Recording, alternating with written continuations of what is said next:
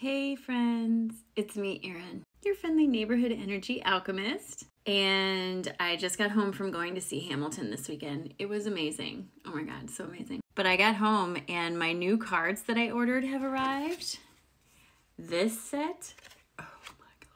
First of all, the art is amazing. And secondly, the way these cards work is they are tarot cards, but they have the oracle meaning on the cards. And for someone like me who's super interested in tarot but also an oracle card reader, do you have this this is amazing. This this is amazing. It's just amazing. Sitting here with these new cards and I was like, "Oh, I got that need. That need to read. There's somebody that needs a message. I got these beautiful new cards. Let's do it." All right, so the first card that comes out for you is the Three of Wands upright.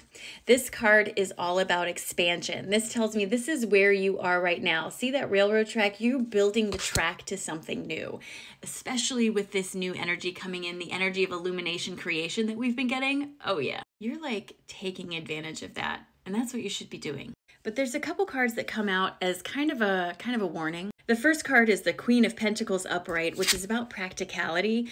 And the second one that came up with that is the Tower, which is all about disruption. And these two cards coming out together, what they tell me is if you focus too much on how are you going to do these ideas, how are you going to implement them, how are you going to do them, it'll cause them to fall down. This is not a time for picking things apart. This is a time for welcoming ideas and welcoming creativity. Don't get too caught up in the practicality of how you're going to make these things work because you're going to talk yourself right out of them the next two cards come up together also.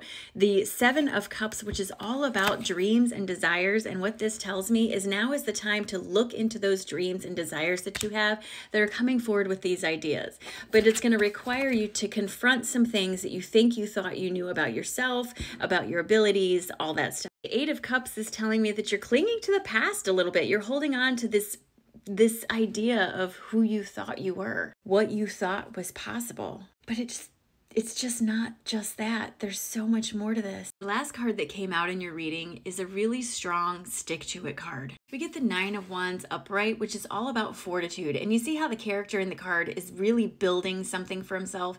This is you sticking to that idea you have stick to it. Don't let the idea that you don't know how to do it or how to incorporate it stop you from being inspired by these ideas. With all this creative energy coming through on the Schumann that we've seen in the last couple days, it's very much about very much about listening to the ideas and not talking yourself out of them. I'm telling you, you've got to write them down. Don't let your practicality and your clinging to the way you think things have to be done keep you from trying something new and amazing. And if you're looking for some new cards, these are awesome. Not only are they a great size, the artwork is amazing and they slide really easy. But this is more about you in this reading. And I'm so glad it found you, friend. So glad because somebody needed to hear this. And it must have been you because it wasn't leaving me alone. I couldn't not do it, it was just calling me.